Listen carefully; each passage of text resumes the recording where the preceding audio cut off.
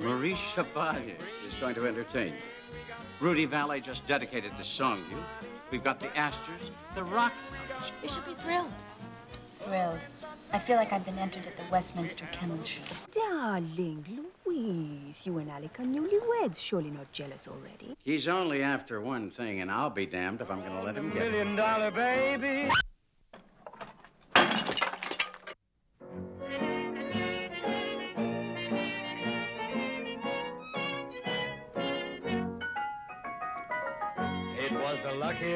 April shower. It was the most convenient dawn. I found a million dollar baby in a five and ten cent store. The rain continued for an hour. I hung around for three or four. Around a million dollar baby in a five and ten cent store. She was selling china, and when she made those eyes, I kept buying china until the crowd got wise. Incidentally, if you should run into a shower, just step inside my cottage door and meet the million dollar baby from the five and ten cent store.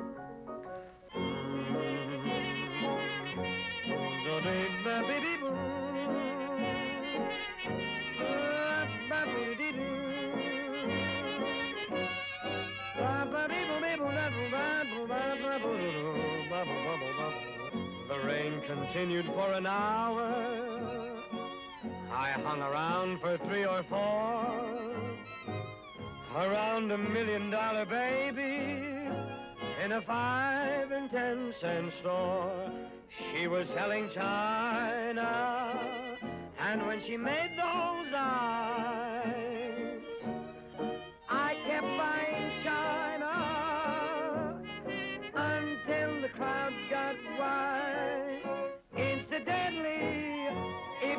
into a shower, step inside my cottage door and meet my million dollar baby from the five and... From the first Woolworth five and dime store in 1879 to the opening of this store, number 1000 on Fifth Avenue, F.W. Woolworth has provided jobs for a multitude of young women and young men. Woolworth was built upon an idea, and a simple one, to sell products which everyone in this country needs at a price which everyone in this country can afford. They say that hard work built the world's tallest skyscraper, the work of thousands and thousands of people. Franklin Hutton is your responsibility. He was supposed to be a part of the family at the opening of our new store, but no. He had to go to San Francisco on business.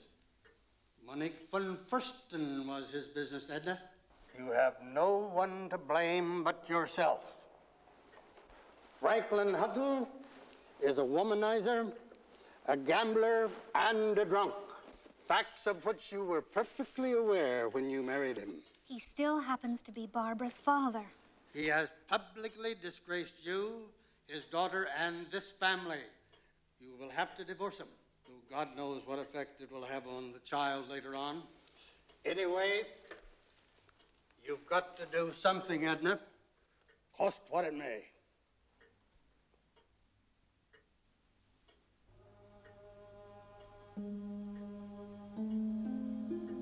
Yes, Father.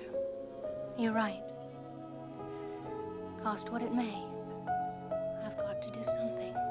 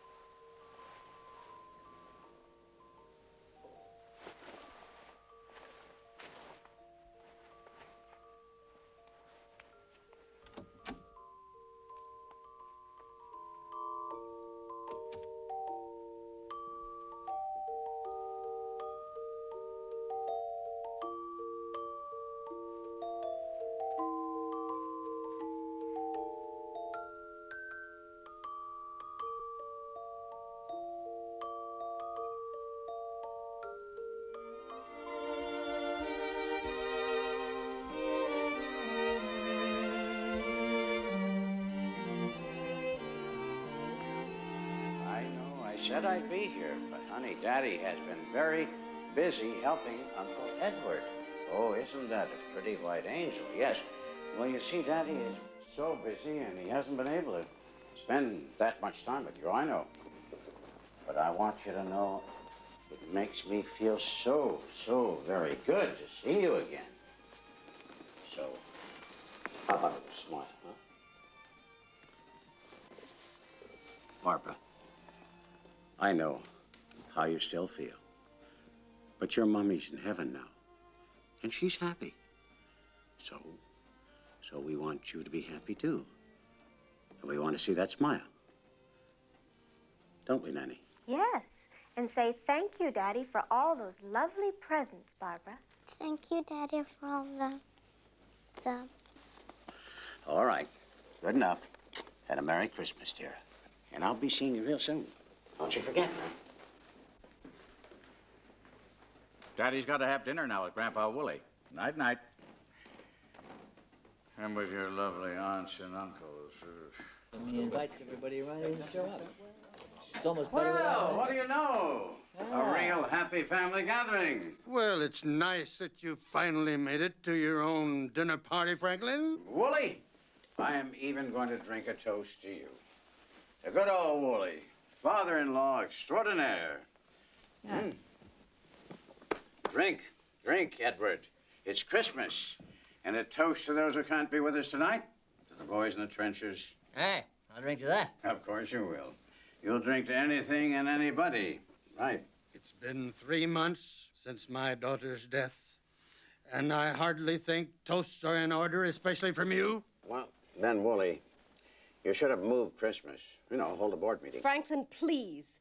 This is the first time we've all been together since Edna. since her passing. So let's try and act like a family, huh? what a family. What a family. What a group. American merger. Oh, yes. E.F. Hutton. F.W. Woolworth. Mm-hmm. Marriages. Marriages made in the boardrooms.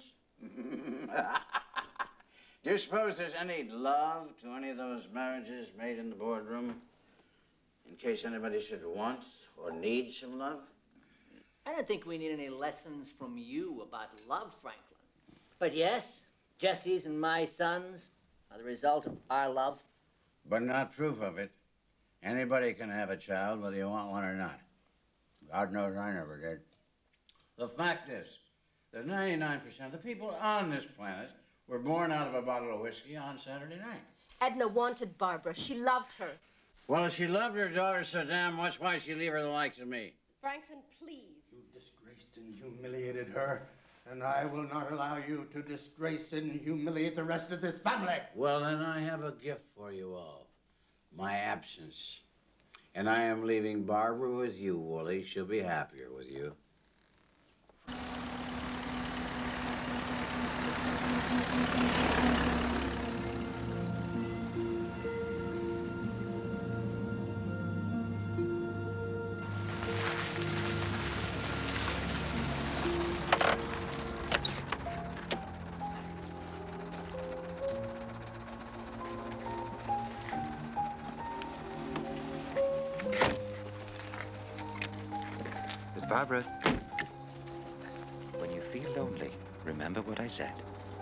Princesses live happily ever afterward. But I'm not a princess. But you are to me, darling. And one day you'll find your prince. Barbara? I'm Miss Touquet, Barbara. I'll be taking care of you. But you can call me Tiki. Tiki?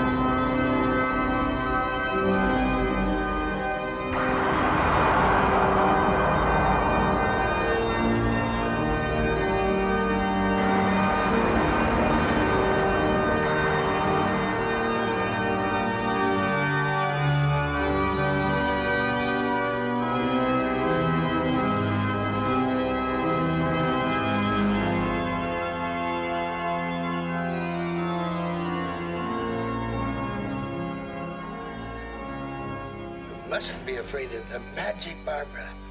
Why, that, that's what keeps the soul alive. So some people who don't have it, they sit and wait for the ever after. But you know, there is no ever after. There is only the moment. And this moment now with you and I is full of wonderful magic and music. So play.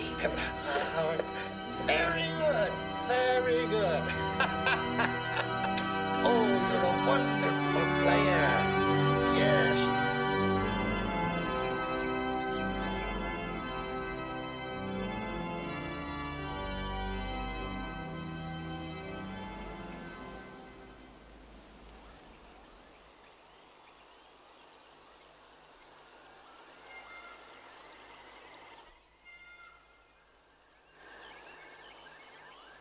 Do you have to go now, Franklin? You've hardly arrived before you're gone. Barbara's very upset. It can't be helped. When Edward F. Hutton opens a new office, an important new branch, it's incumbent upon me as a full partner to be there. Edward would never forgive me if I weren't. No, Barbara will be fine with you. Can you imagine those two pills, those loving aunts of hers, refusing to take her when F.W. finally met his maker? Oh, you're a peach to do so. Thanks so much. Incidentally, between us, old Willie died not a moment too soon. What do you mean? He was planning on drawing up a new will, leaving the bulk of his fortune to charity, but with exquisite timing, he kicked the bucket before he signed it. so when my senile old mother-in-law finally goes, the estate will go to the two surviving daughters and Barbara. Lucky girl, huh? All right. Bye-bye now.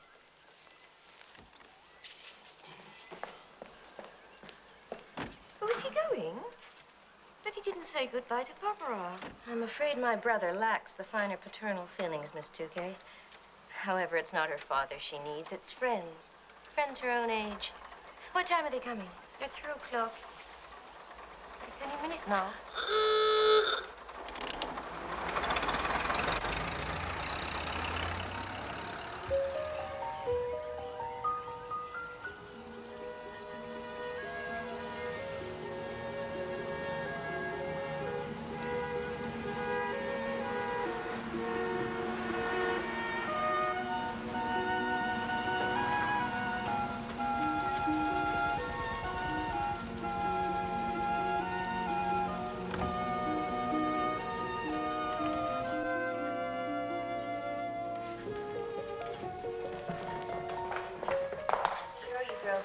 lovely time together. Barbara, I'd like you to meet. Oh dear, I don't know which is which. I'm Muriel, and these are my friends, Nora and Margaret. We can only stay an hour. Why don't you go to school? I have a tutor. My mother says you're too rich for your own good. I don't know what you mean. I think we've got to go now. Why? We can play house. We can dress up. Look.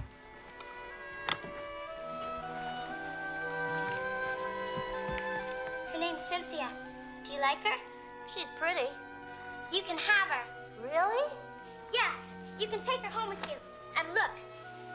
She has her own cape and an evening dress. Look. Are these real? Real what? Rubies, of course. Are they real? I don't know. Can I have them? Sure. Look at this.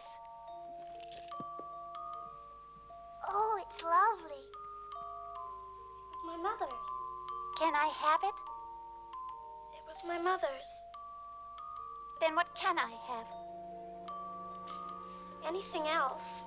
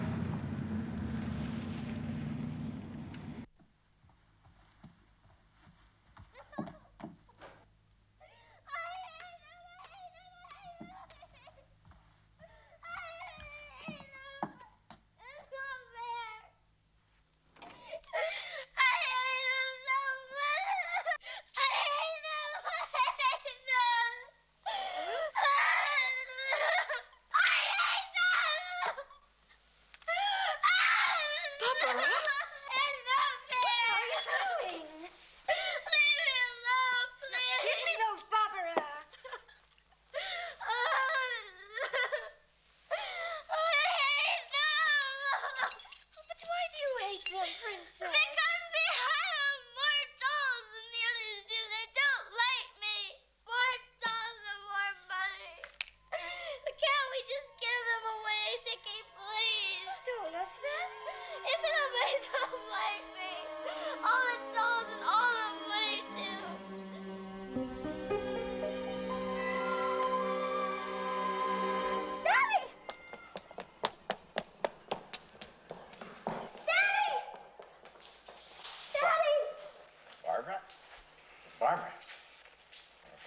Some sad news for you.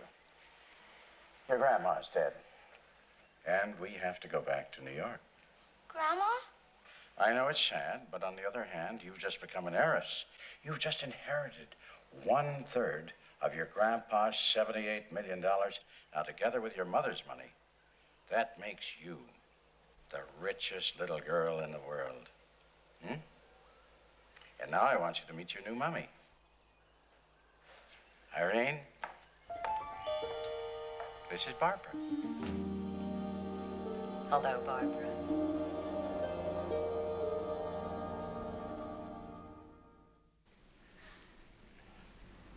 Who's going to live here with me? Oh, Tiki, of course. And, uh, and the maid.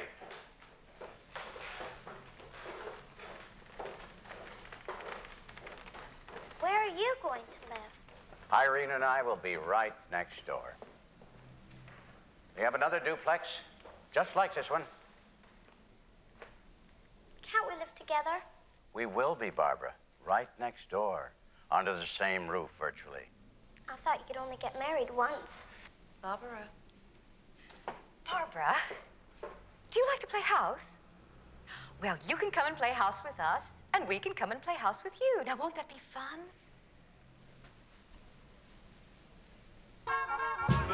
Now.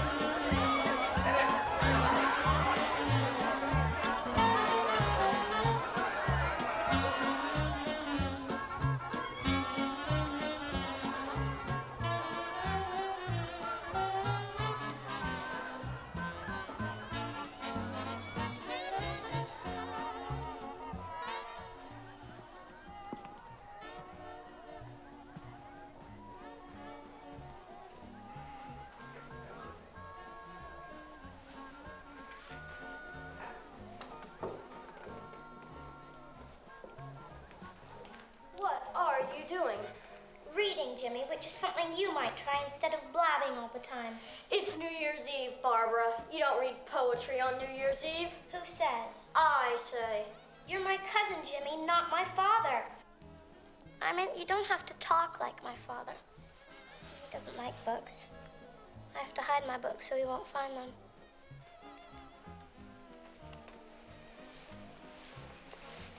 I do that too, you know. I've never seen you read.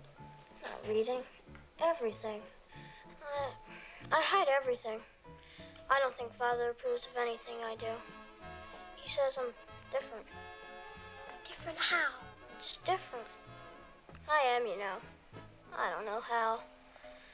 But anyway, I embarrass him. You're different too. We're both different, Barbara. Maybe we are. Let's always be together, Jimmy. Even when we're grown up. We will, won't we? All our lives. And it's gonna be fun. New Year! Happy New Year, Mav. Happy New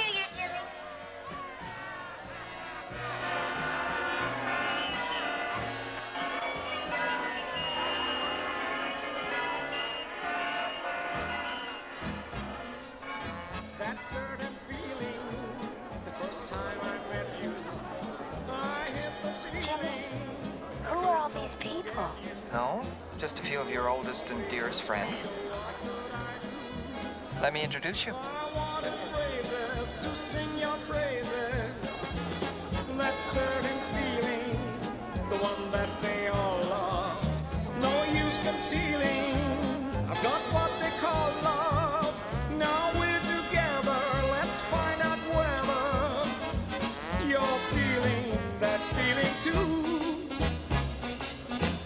certain feeling, the first time I met you. Every morning, every evening, ain't we got fun? Not much money, oh, but honey, ain't we got fun? The rent's unpaid, dear.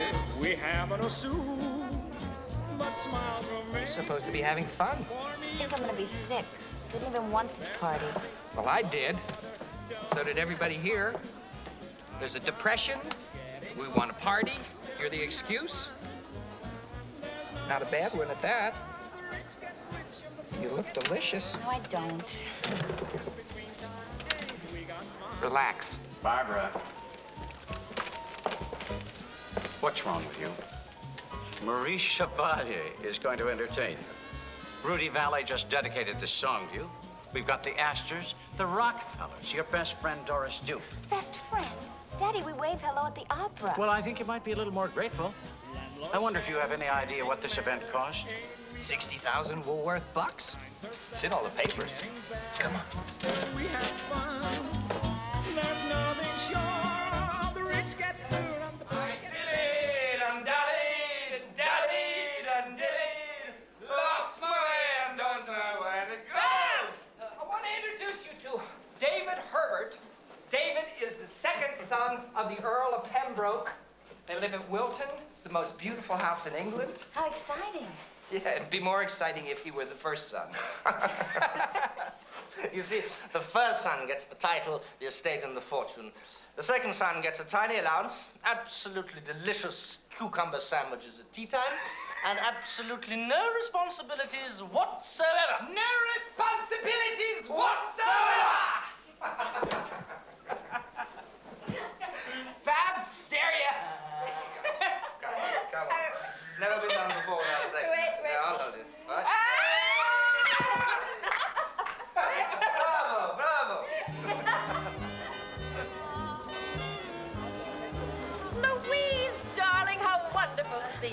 Barbara? Yes, I'm delighted you could come. Well, how can one miss a commanding performance? Barbara, I'd like you to meet my fiance, Prince Alexis Mdivani. Hello. Miss Hutton. My pleasure. And Barbara's aunt, Marjorie Merriweather Post. Oh, I'm sorry, Mrs. E.F. Hutton, Prince Mdivani. How do you do? Well, thanks. Always have. You look wonderful tonight, Barbara. Hmm. Interesting sash. What is it? It's just plain old ordinary cloth, isn't it? Yes. Just plain old ordinary cloth. From Granddaddy's shop, no doubt. As a matter of fact, it's from his very first shop. Only you, Barbara, could get away with that. Or try to. It is chic. It is what chic is all about. And what is chic about Alexis? I would say it is when something very simple is set against something very beautiful. Thank you. Oh, Doris, I didn't mean to ignore you. Well, of course you did, darling, and why shouldn't you? It is your night. Doris has already had hers. Well, I must say, the Huttons have finally outdone the Dukes. In spending, shall we say? Imagine Doris Duke and Barbara Hutton dripping in loose change. Too bad you are not a man, Doris. Then the Duke could marry the Hutton and take over the country. Why should she marry a Duke, Louise? When she could marry a prince. Come along, darling. We have legions more to meet. You do know Charles Putnam, don't you? I think I saw him over here. Charles! Charles!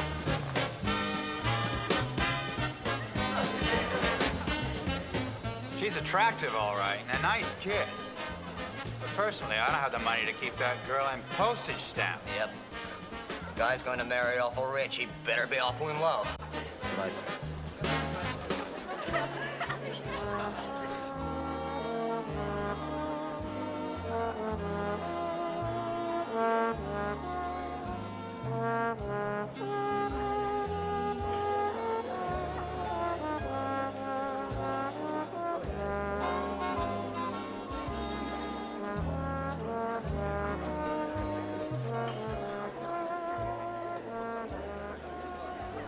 Barbara, dear, we're supposed to be having a marvelous time.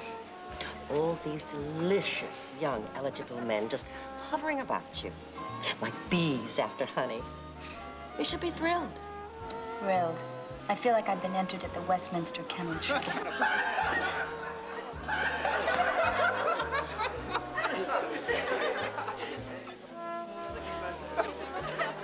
Mr. Plant, have you met my niece, Barbara Hutton? Hello. Miss Hutton? Barbara, Phil Plant. Isn't he handsome? Aunt Marjorie. He is. May I have this dance, Miss Hutton? Of course you may. Aunt Marjorie? Yes, thank you.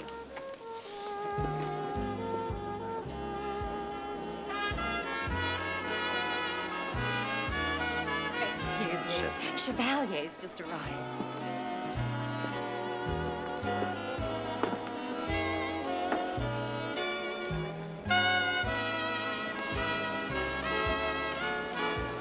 Did something foolish, Miss Hutton.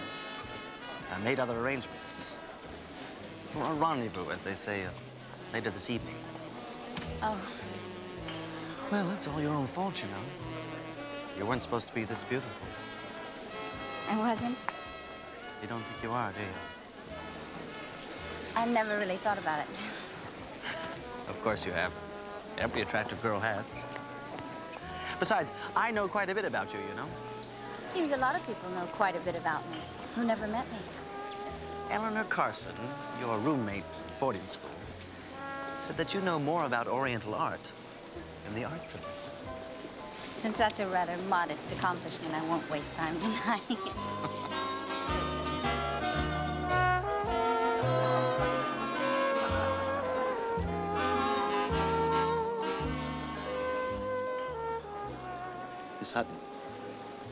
With your permission, I'm going to cancel my plans for later this evening. I'd be delighted.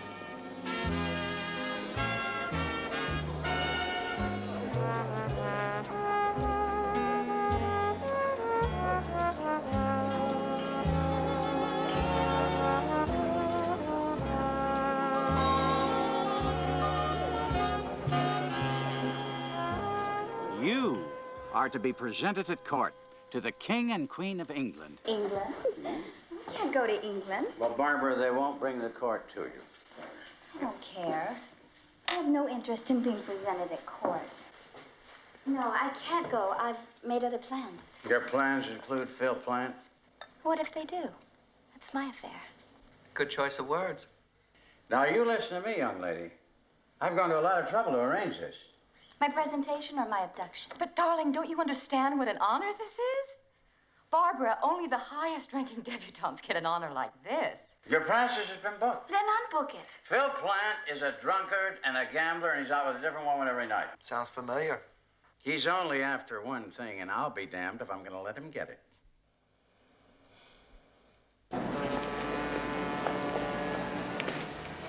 I will have a word with the captain, Barbara, and I will see you in the stateroom. Thank you. Hey, Babs.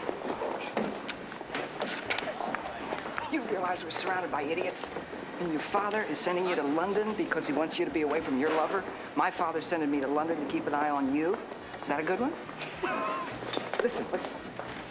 I have cabled David Herbert. He will arrange all the parties, and the possibilities are infinite.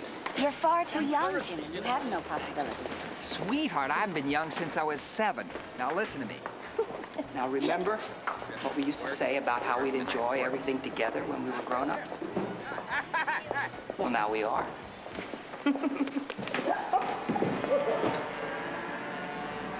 London's glorious season ends, and its last event is the Royal Garden Party at Buckingham Palace. Magnificent gardens of the palace make a splendid setting for this most regal and yet democratic function.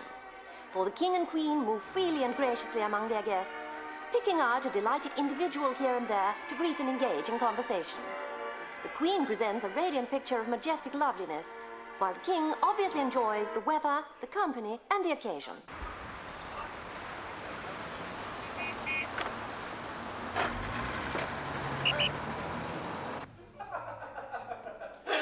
Glory, glory, hallelujah. I'm the luckiest of females. For I dance with a man who's danced with a girl who's danced with the Prince of Wales. And she danced with a man who's danced with a girl who's danced with the Prince of Wales. Jimmy went to a marvelous party at Emerald Cunard's. And guess who was there? Who? The Prince of Wales. He danced with Barbara. Ah, well, lucky her. Some girls have all the luck. Well, I've been entertaining myself. You want to hear about the American invasion? Oh, yes, well done. Well, darling, you're no longer a debutante, you're now a celebutante. Oh. Barbara Hutton, America's poor little rich girl, presented to the king and queen. Not bad for a colonial. The prototypical American export, a heavily chaperoned heiress who has come here to steal the vaulted throne of the British Empire and return with it to the United States. An American reject, a spoiled brat, whose rejection by New York's most eligible bachelors has brought her. Don't bodyguards ever eat? Tiki.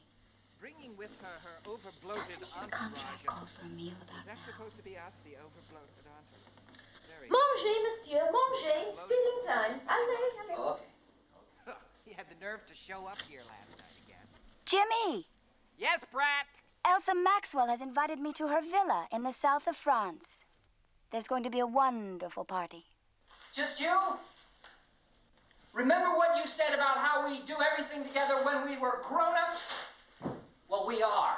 Elsa will adore me, so I'm coming with you. Let's pack.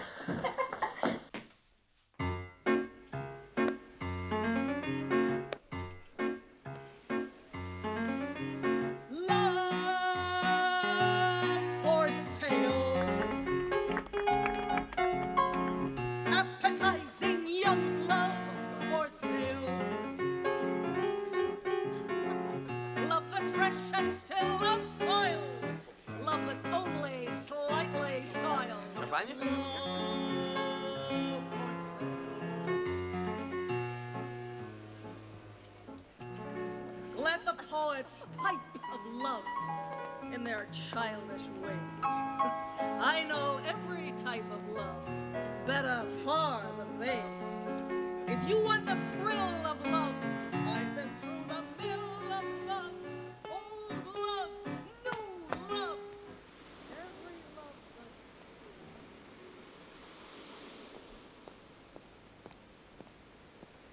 You're absolutely right. About what? Well, Elsa Maxwell may give superb parties, but when her voice fills the air, it deadens the senses.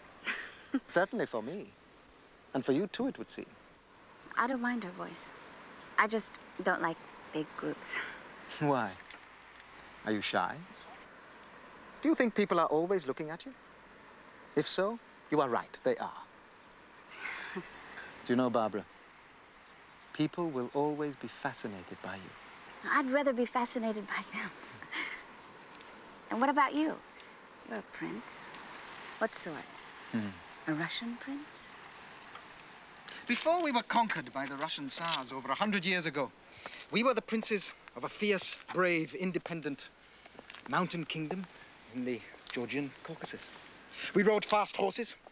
We wore jewel-encrusted gowns, soft boots and big fur hats, and long, sharp scimitars swinging at our sides. We would swoop down on the Russians and cut them to pieces. And then we'd ride back to our citadels, singing of victory, to celebrate, dance, and to make love. Do you know, you have the most beautiful eyes. And I would give anything in the world just to hold you close now. But finally, we had to make peace, recognize the Tsars, and we never forgot the true kings and princes that we had always been. And then? And then came the Bolshevik Revolution, and we had to flee across the mountains into Turkey with whatever jewels and gold we could carry. Do you know, you have the most beautiful lips. And I would like to kiss them now. And finally, we came to Paris. And now, and now, I'm probably boring you. No. I'm only telling you all this because I believe you know something of the Muslim East. How do you know I know? Ah, it's rumor. But I prefer knowledge to rumor. And I would like to know you, Barbara. Do you know how? In which way?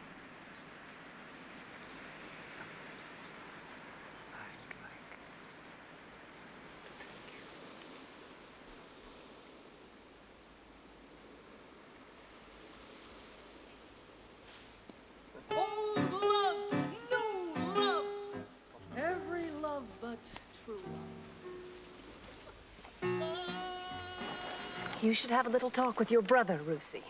If the prince wants to retain his royal lifestyle, tell him to stay away from the shop girl. Darling Louise, you and Alec are newlyweds. Surely not jealous already.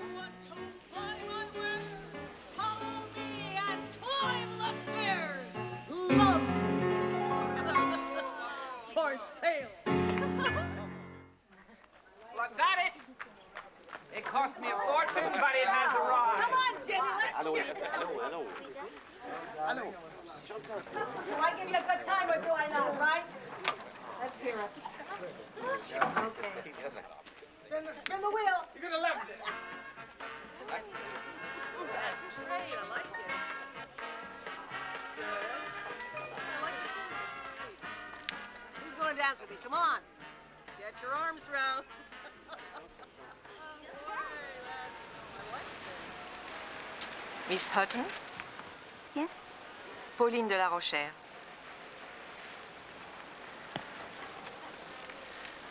We've been at many parties together, but never met, I'm afraid.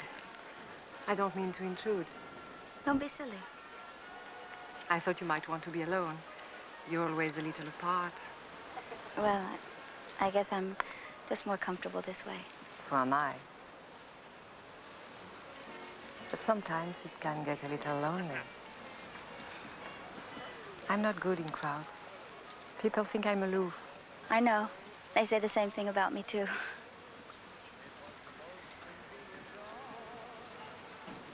I found a million dollar baby in a five and ten cent store. The rain continued pouring What is that? It's the latest craze, honey. Yes, but what is it? Who's it referring to? Three guesses. Me? Me? They don't know me. I hate people talking about what I'm worth. Doris Duke has more money, certainly more chin. Aunt Marjorie has more money. I found a million dollar baby. Would you get another copy for me?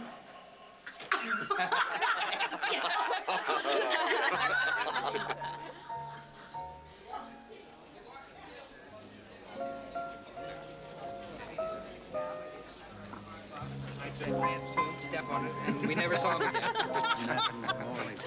Oh, fantastic. Thank you. You know my old man? The song. Barbara, this is Morley Kennerley and his wife Jean. Miss Barbara Hutton, Count and Countess Vespucci. Hello. Morley's an expatriate, too. He's an American, you know. Elsa, I'm not an expatriate. You become an expatriate the second you set sail from New York. You just don't know it yet. We're all running away. Uh, excuse me while I run to the bar. come, come with me, Count and Countess. I'll see you later. I want you to meet the Crichton.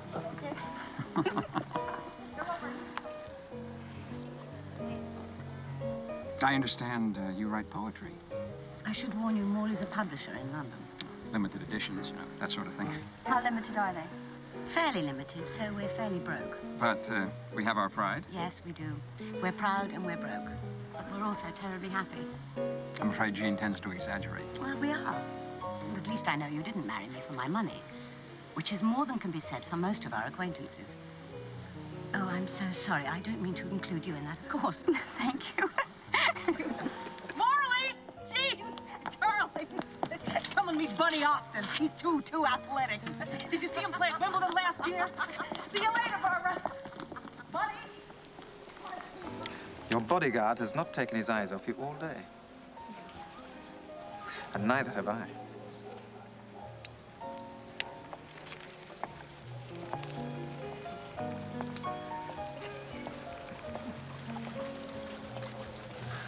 Anybody need a drink? Saucer of milk?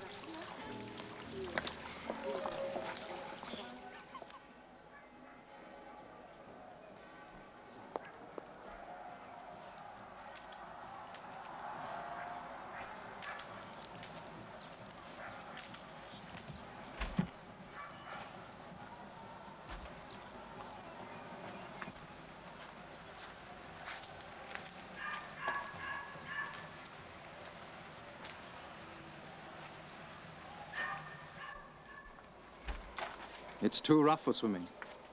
Currents are too strong. It's too dangerous. I'm a strong swimmer. I like danger. So do I.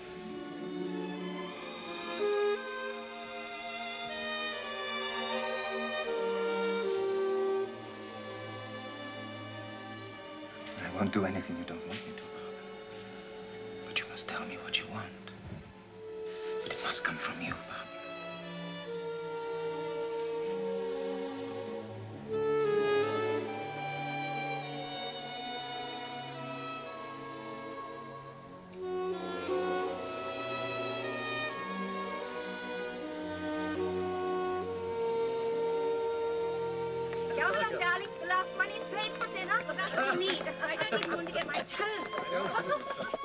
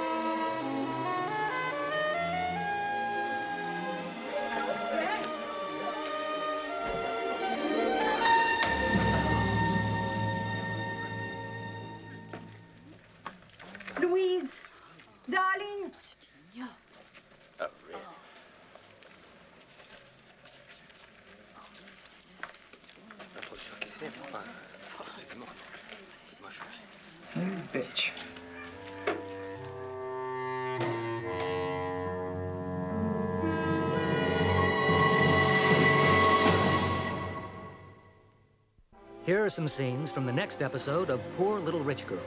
I love Alexis. If my going to bed with him breaks up his marriage, at least it won't kill him, like you did Mother. For heaven's sake, Barbara, he's a drunk, a womanizer, a legal gigolo. Do you think this comes as a surprise? The only girl in the world who can buy anything on anyone. And she can't hold on to any of it! Don't talk money. Mm, that's right, Uncle Franklin. Don't talk money, just have it.